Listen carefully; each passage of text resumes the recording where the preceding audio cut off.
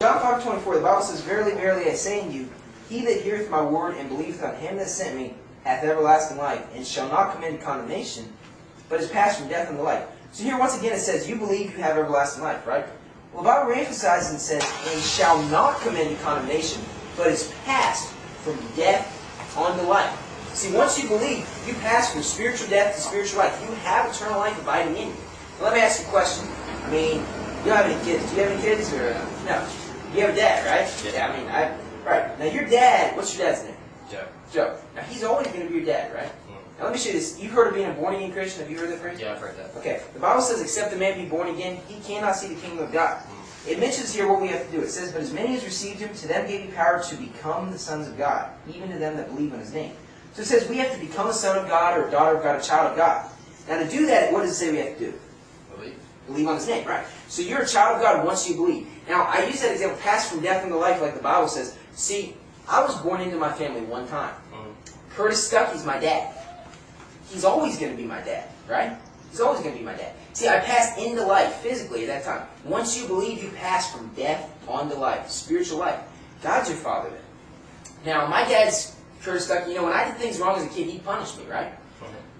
Could I ever do anything where he wouldn't be my dad? That's all I can hear that. Right. Now, if I did something wrong and did not ask for forgiveness, would he still be my dad? Yeah. Yeah. If I killed somebody, would he still be my dad? Yeah. Absolutely. I could never do anything. Even, let's say, for example, I stopped believing he was my dad. Would he still be my dad? That'd be kind of weird, but yeah. Yeah. See, I'm not going to stop believing that. It's the same way with God. You see how if, if I killed someone, would God still be my father? Yeah. Right. If I stopped believing God was my father, still be my father. And here's the thing. I'm not going to stop believing that. What I'm saying is Satan might make you doubt in your faith, but is God going to kick you out of his family because you doubt a little bit? Doesn't sound like it. No. If I give you a gift, it belongs to you, right? If you didn't believe tomorrow that you had this, would it still be yours? Somewhere, it'd be somewhere.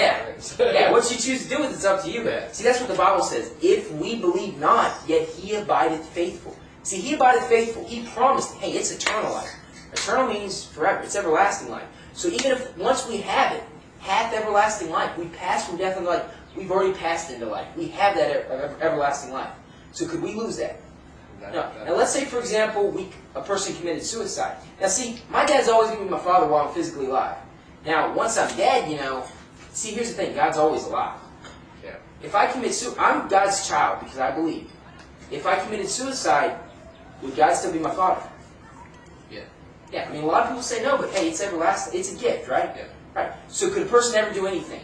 You know, they could ever lose their salvation. Like They stop following Him or committed a terrible sin. Would they ever lose that? Once they get born again, it sounds like they're stuck in the Yeah, God's our father. I mean, is God gonna? He's gonna get mad. Now, if you do something wrong, he's gonna punish you, just like my dad did as a kid. But he's ever gonna kick you out of his family, send you to hell? No, he promised you it's a gift, right? So let me ask you something. Do you do you believe that Jesus died Yeah. and made that payment, was resurrected? Yeah. He's the only way to heaven. Okay. So, um, according to the Bible, do you have to do anything else to get to heaven? Just have to believe. Right. So, according to the Bible, now, if I asked you, do you know for sure if you're going to heaven? Do you know for sure if you're going to heaven? Yeah, I believe that. Absolutely. Now, could I just help um, pray with you? Just help you tell God that you believe that. Sure. It's, it's not. I mean, it's not magic words. You believe. The Bible says, "Believe on the Lord Jesus Yeah. Christ, and thou shalt be saved." Whosoever believes. You want to just bow your head, and repeat after me. Okay. Dear Jesus, Dear Jesus, I know that I've sinned, I know that I've sinned, but I believe but I believe you died for me you died for me and rose again. and rose again. Please save me. Please save me. Amen. Amen. We meant that prayer, right? Oh, yeah. Yeah. So, could you ever? Now that you know, you said you know you're going to heaven. Could you ever do anything that you could lose, just to you know make sure? No, I mean, I could even shoot you. yeah, I mean, you know you're going to heaven. That's that's that's a great feeling. That's why you know I, I want to talk to you because it's an important thing. And you know, there's a lot of people out there who they've been in church, but they don't know if they're going to heaven. And you have probably family and friends Yeah. who, I mean, they might not believe. What happens to them if they never believe? What's going to happen to them? To go to hell. Right. And here's the thing: it's not that they're necessarily denying it; they just maybe have never heard. Somebody's got to tell them that. Now, I know right now when I first got saved, I got saved five years ago. You know, I didn't really know what to tell people. I tried, and you might be feeling like that too right now. You don't know what to really say to them, and that's why you know it's important to go to church. You know, it doesn't get you to heaven, but it's important to go so you can help tell other people about it. And um, that's why. And there's one thing God tells you: the first thing to do after you get saved. It's the first step. This is what God wants you to do. Let me show you this in the Book of Acts. Okay. And um, the book of Acts, chapter 8, the Bible says, And as they went on their way, they came unto a certain water. And the eunuch said, See, here is water. What doth hinder me to be baptized? So he's saying, What's preventing me from being baptized?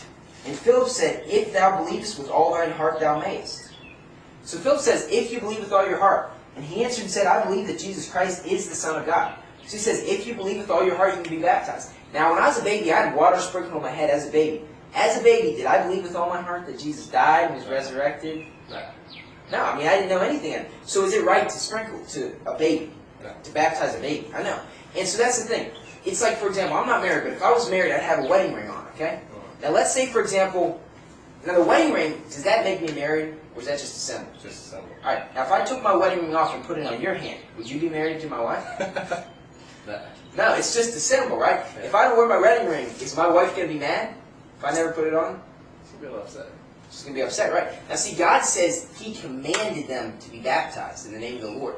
You're just showing, I'm putting a wedding ring on to show I love my wife. I'm not embarrassed to say it. You know, I'm, you get baptized to show the world, hey, I believe that Jesus Christ died, was buried, and He rose again. That's why you do by immersion. You're showing the world that you believe that He was buried and rose again. Like the, the you said it, I believe that Jesus Christ is the Son of God. So if you believe that, God says He commanded them to be baptized. Now, if He commands it, is it something that's not a big deal or is it important? Very important. It's important. So it's something you need to do. You Yeah. need to get baptized. Because if you want to reach your family and your friends and get them saved, this is the first step. You need to get baptized. And you know, if you come to church, you know, it's obviously your choice, but you know, it's an important thing to do. You know, here's our church. We're on 48th Street in Southern. You're welcome to stop by. We'd love to have you. And um, you know, if you ever need a ride, we got our number on there. And anyways, my name's uh, Matt Stuckey. It's nice to meet you. Thanks, man. Just give me a call if you need a ride. Second. All right.